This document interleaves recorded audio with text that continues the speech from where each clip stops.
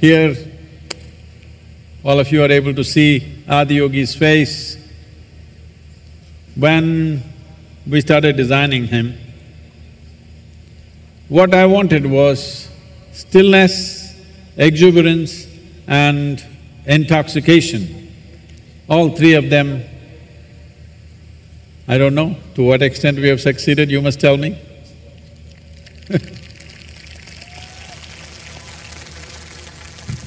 of all these qualities of exuberance and drunkenness, the most important thing is stillness. If you become absolutely still, which means you came to a place where you are not in touch with your physicality, the definition of your body which makes you a male or female,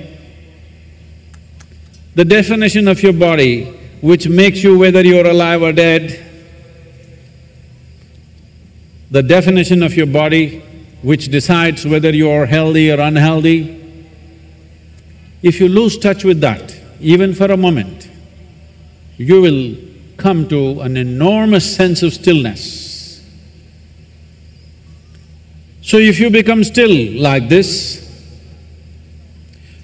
you do not know Shiva, but you have become that.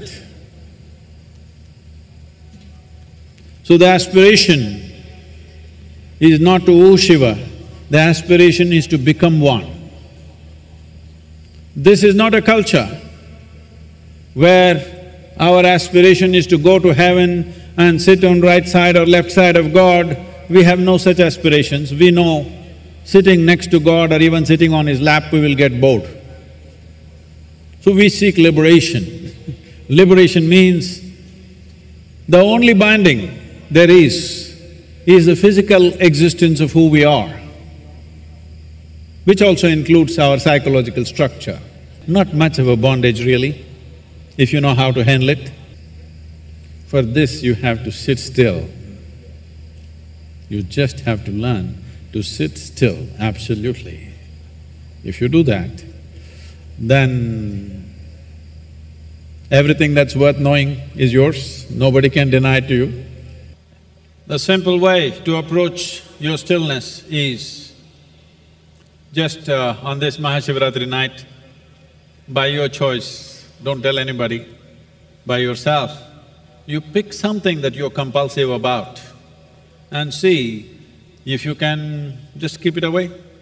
Maybe it's food, maybe it's sleep, maybe it's clothing, maybe it's sexuality, maybe anything.